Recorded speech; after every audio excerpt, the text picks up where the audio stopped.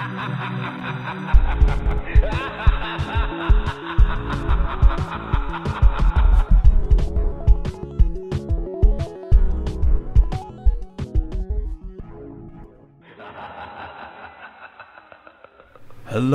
and welcome to RG Boo, an extra spooky edition of the official podcast of Robert Gordon University. And that's enough of that voice. I am your host, Johnny Milne, and we are celebrating Halloween by taking a dive into the world of the supernatural. It's a real treat, not a trick, to welcome our very first returning guest. It's Dr. Rachael Ironside. Rachael, you really are a glutton for punishment. Thank you for joining me again. Thank you for having me. Well, I think we should pick up right where we left off several months ago now. You have a PhD in paranormal experiences. What is it that drew you to study the supernatural in the first place? I think I've always had an interest uh, in the supernatural. I, to be honest, never really thought about studying it uh, when I first became a student. So I did my undergraduate at uh, the University of Aberdeen, if we're allowed to say that. Oh no, we're, we're Uh, friends. It's good, okay. good.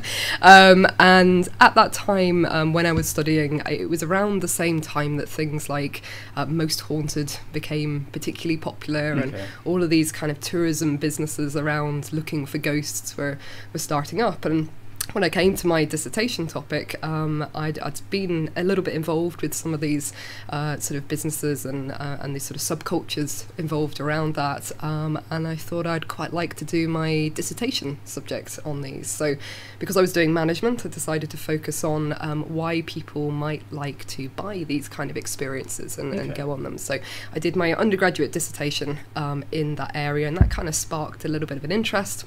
I went to a conference um, that summer and met who became my PhD supervisor down at the University of York, um, and had some discussions with him, and uh, and kind of got to know a little bit about what the possibilities were of studying this area, and became a member of the Anomalous Experience Research Unit, which I'm still an associate member of. Sounds very X Files, um, not quite as exciting as it maybe seems.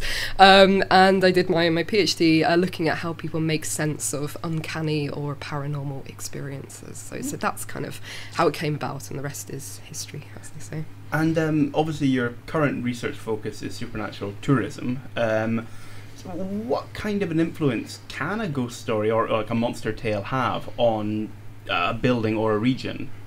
I think what's really important is that um, to sort of remember that these stories are really part of our folklore. So they've been around for a very, very long time, and people have been interested in them for a very long time as well. And, and they're very intertwined with history and, and with heritage. And ghost stories, um, they're not often scary stories for the sake of being scary stories. They're often very much intertwined with um, tales around a sort of morality, around our past, around the sort of darker details of human endeavours and our, and our history, and, and often tell stories about um, how we should sort of live a better life, so to speak. And I think in a society that is kind of moved or somewhat removed um, more these days from our community, from place, from these kind of things, ghost stories allow that kind of connection with it. So they're a really interesting way for people to learn about our past and um, and our and our heritage. And the other thing that they do is they help to re-enchant places as well. So uh, people would think we, we live in a more disenchanted uh, world these days, very much um,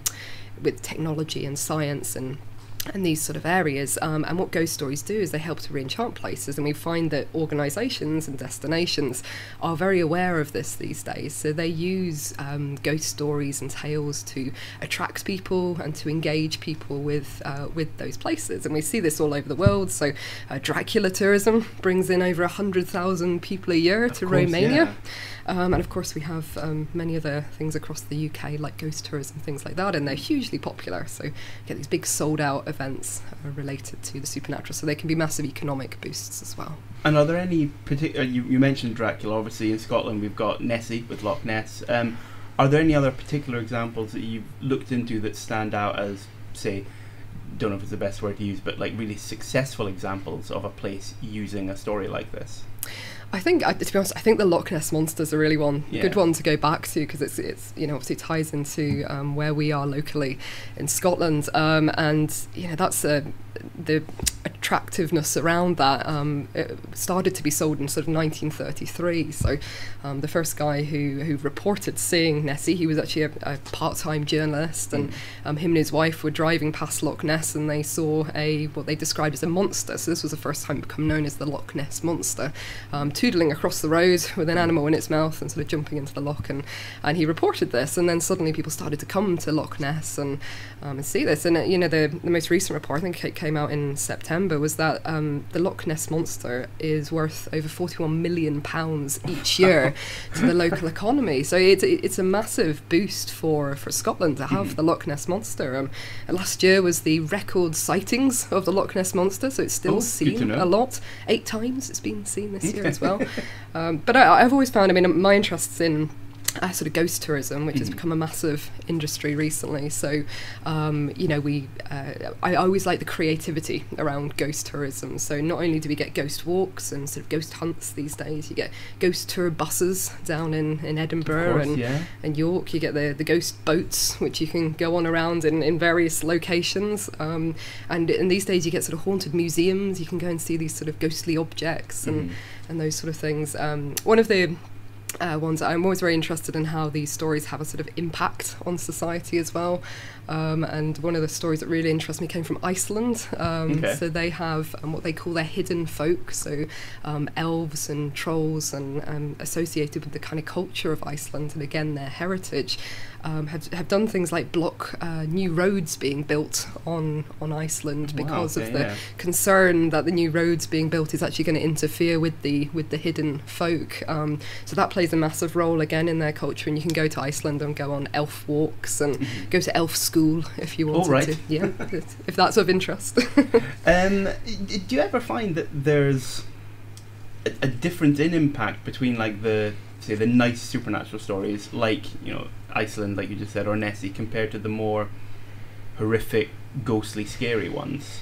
Yeah, I think this is a really interesting area to, to kind of look at actually. Um, I mean, scary places are popular, and I think um, ghosts are often about um, selling possibility. So, the possibility that something might happen, and um, darker places tend to increase that possibility Mhm. for people. So, you tend to find places with a, a dark history. Um, so, for instance, Peterhead Prison, that's somewhere that started to sell itself on its kind of ghost stories, um, are hugely popular um, with uh, with people that want to go and, and potentially experience that. And one of the shifts we have seen recently um, with these kind of events is um, not only just darker locations, but also darker experiences and people um, Okay. being interested in those. So, um, for instance, there's uh, ghost hunting is one of the uh, forms of tourism that you can do. So you go and spend the night in a haunted building and potentially Not something for an I will be experience. doing anytime soon. Um, there's a, a location down in England called Drakelow Tunnels, um, and they've got uh, various stories attached to there. It's an old um, uh, military base. And um, one of the stories is that after it was decommissioned, um, satanic worship used to happen there. And there's all these stories um, that people have had experiences of hearing um, hoofed feet walking around the corridors and things. And they, they host events through the year, um, and they're sold out every time, Oh, which wow, you think is kind of ironic. You think you wouldn't want to experience that, but these darker experiences are definitely of interest Okay. to people. Um, well, a couple of months ago, you brought researchers from all over the world to RGU for a Supernatural in Contemporary Society conference. So, can you tell us just a bit more about, say, that, how it came about, and what your hopes were when you set it all up? Yeah, so I think um, there's a couple of interesting things about the supernatural in contemporary society. So, firstly, um, there's a persistence to it. So, uh, studies that have been done um, looking at how many people believe in the supernatural consistently show that over half of us still have some sort of supernatural belief. Uh, and other studies also show that over two fifths of the UK population um, have had some sort of supernatural experience. So even in our modern world, we're still having these experiences and we're still believing in them as well. Um, and then there's also the kind of representation. So when we look at popular culture, we look at media, we look at TV programs, um, magazines, music, the supernatural still really features in all of those. So one of the aims of the conference was to look at the supernatural in this kind of contemporary context and also look at it within the School of Creative and Cultural Business, and the Mm. kind of subjects that we we uh, look at there. So tourism, events, uh, journalism, media, and all of these areas. And what were the kinds of things that um, the different researchers brought to the conference? So we had international researchers from all over the world um, talking on various different topics. So we had keynotes from the likes of Professor Dennis Waskul, who um, is a, a researcher from the States, um, and he was talking to us about um, the kind of promise of the supernatural and its um, relevance to academic research. Uh, we had Dr. David Clarke, who is a reader down at Sheffield University, and he was talking about his work in the National uh, UFO Archive Project and his work as a journalist within that, and looking at how UFO sightings are linked to journalism and what people um, kind of report. And then we looked at a whole range of topics from supernatural tourism through to the way that the supernatural is represented in TV and media, so looking at the sort of television ghost story, uh, through to exploring it um, in subcultures. So we had uh, Professor Christopher Bader who talked about the Bigfoot subculture and how people either look at that from a sort of spiritual perspective or look at it from a scientific perspective. Um, and then we also explored uh, things like methodologies around studying the supernatural and um, and the different kind of areas that it exists within academic research. Okay. Um, I mean, I, I'll, I'll be honest, Rachael. Like the supernatural is an area I've always been interested in, interested in. Sorry, from you know, films, books, TV shows, visiting different places. I was actually just pretty recently down in Edinburgh. I saw the ghost tour buses, as you said. Went and spent some time in uh, Greyfriars Kirkyard, which at night, which was Mm, mhm. not fun. But um, has it always been an interest of yours? Um, you know, from an early age, or did something happen to spark this in you? Yeah, I mean, I mean, I think I have always been interested in it. To be honest, I think um, the mysteries of the world have always fascinated me, and um, I think it, it's never been enough to look at the world in black and white. I Mhm. always think it's it's interesting, and I've always found people's experiences and their encounters with the supernatural and their stories about ghosts and, and the like uh, really interesting. Um, so it has always been a fascination, and I equally grew up with classic horror movies like The Lost Boys and American Werewolf in London and Alien and, and all of these things. So I'm pretty sure that's probably responsible for my interest in it as well. Okay, uh, I'm with you on all of those. Um, and I, I happen to know you mentioned earlier, right at the start, that you were involved in some of the businesses around this area. I happen to know that you also used to run your own haunted walking tours around Aberdeen. Um, in preparation for this interview, one of my colleagues, Danielle, gave me a book about haunted Aberdeen, and there's a picture of you in there. Yeah. um, so, what exactly did that involve? I mean, for you and for the people that came and joined you on them. Well, I did that very smart thing that in my final year of studying um, as an undergraduate, I decided to set up my own business because, of course, as any fourth year, I'm sure will realise at this point in time, that's always a good thing to spend your time Oh yeah, doing. there's plenty of Uh, spare time. yeah. um, but I, so I, I wanted to set up my own company, and I, I realised there was a bit of a gap in Aberdeen for um, the, the possibility to learn about history and learn about the heritage of, of Aberdeen, um, and to do that in a kind of a fun and interesting way, and also to hear about the kind of ghost stories, because Aberdeen's got this incredibly rich, really quite dark history associated with it, um, and got some really good ghost stories as well. So, um, so I set up um, ghost walks um, in the city, and we started at Castlegate, uh, and we stopped at various locations around uh, the city centre, ending at the Old Green, um, talking about the ghost stories and the kind of darker side um, of the city.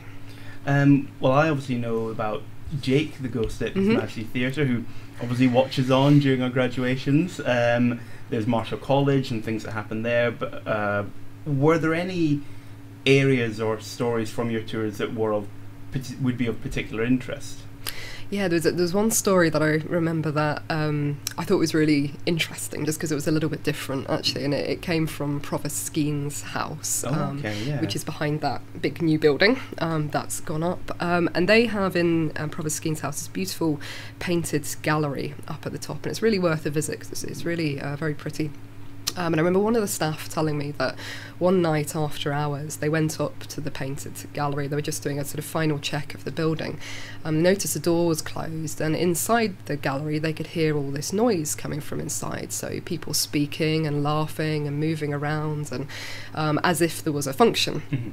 going on and they thought this was rather strange because they hadn't been told that there was going to be an event going on in the painted gallery so they went back downstairs to the office to check and see if there was an event going on they hadn't been been told about, um, and there wasn't. So they went back upstairs thinking this is rather odd, um, got to the door of the painted gallery, went to open it, and found that the room was completely empty. Oh, fun. So, yeah, so technically there was a ghost party going on at Provost Skene's, which I always thought was, was rather nice. Mean, it us f- good things to look forward to, I guess. Well, yes, yeah. um, I mean, for our own uh, students or staff listening in, do we have any of our own RGU based ghost stories that you're aware of at all? yeah. Sadly, I haven't actually heard of any ghost stories from Robert Gordon University or from our campus. Come Um, up with one, I guess. well, yeah, well, maybe maybe there's a, a creative um, possibility there for I mean, someone. I'll be 100% honest for it, for yourself or obviously for anyone listening. The um, when you go into Garthdee House and there's the new paintings that are up on either side of the hall, one of which is a painting of a little girl, and even you know eight o'clock in the morning, bright sunshine.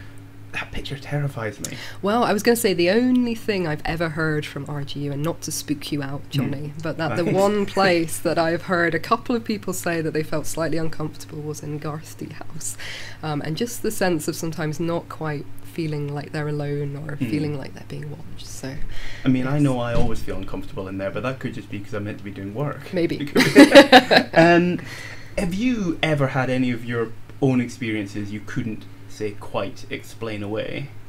Yes. So I I had an experience which has always kind of stuck with me, and again, maybe another reason that I'm, I've sort of got into studying um, this area um, is when I was younger, I um, used to work um, when I was about 16, 17 at, at horse riding stables before I um, came to university, um, and we would sometimes um, take horses down to the borders. Um, and this one time we'd gone down um, with a, a horse to drop it with its owners, and we stayed in a in a local hotel. And, and I can't remember the name of this hotel. I was quite young and I didn't check at the time. And it frustrates me still to this day that I, I haven't looked into it.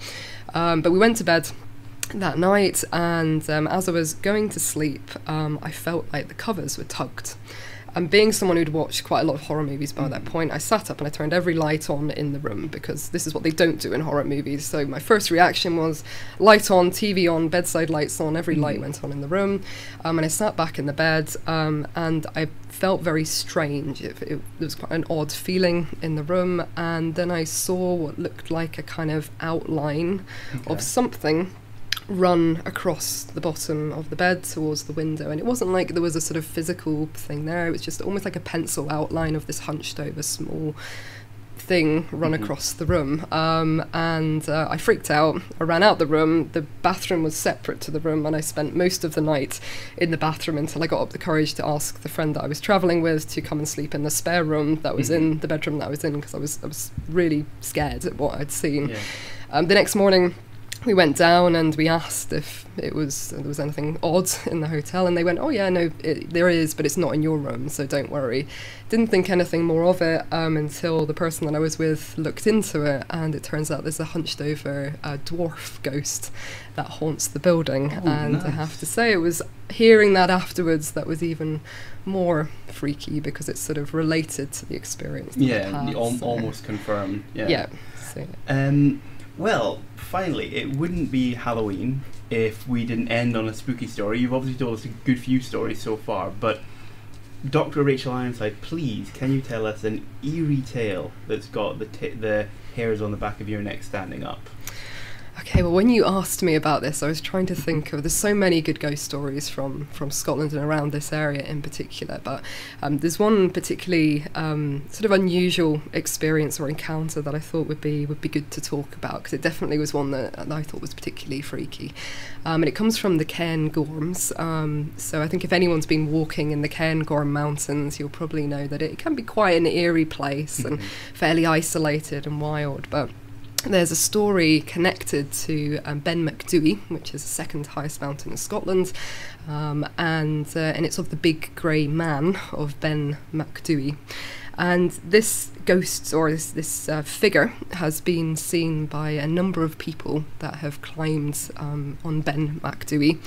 Um, and it's considered to be almost the Bigfoot of Scotland, or our own kind of Bigfoot, although it seems to have a more sort of spiritual or ethereal um, connection to it. Um, so the the experience goes um, that most people will they'll be climbing up Ben Macdui, usually on their own um, and they start to feel like they're not on their own anymore, and they get this sort of creepy feeling um, as if they're being stalked. So it's quite a mm. negative feeling that's attached to it. And then often the mist will will roll in, and they'll start to hear footsteps accompanying their own footsteps walking um, along the ridge of mm. the mountain and then they get this intense feeling of terror and sometimes they'll see this figure coming through the mist this tall usually about three meters high with long legs and long arms appearing through the mist. And then they'll, they'll feel this intense sense of dread and usually run back down the mountain and I wanted to share. So there's um, this has been cited for over hundred years. So there's lots of sightings associated with it, and I thought it would be interesting to share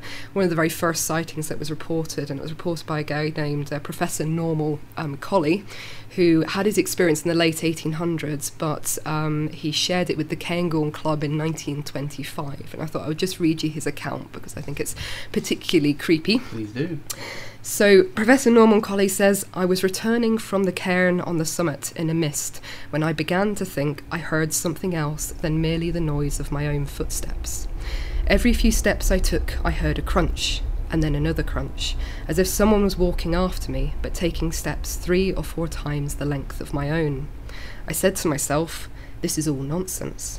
I listened and heard it again, but could see nothing in the mist. As I walked on and the eerie crunch, crunch sounded behind me, I was seized with terror and took to my heels, staggering blindly among the boulders for four or five miles, nearly down to Rothiemurchus forest. Whatever you make of it, I do not know, but there is something very queer about the top of Ben Macdui. I will not go back there again by myself, I know. Well, you don't need any more than that, I think. that is fantastic. Rachael Ironside happy Halloween. Happy Halloween to you too. And that's it for this spooky episode of RGU Talk. On behalf of the university, I'm Johnny Milne, and we'll talk to you later.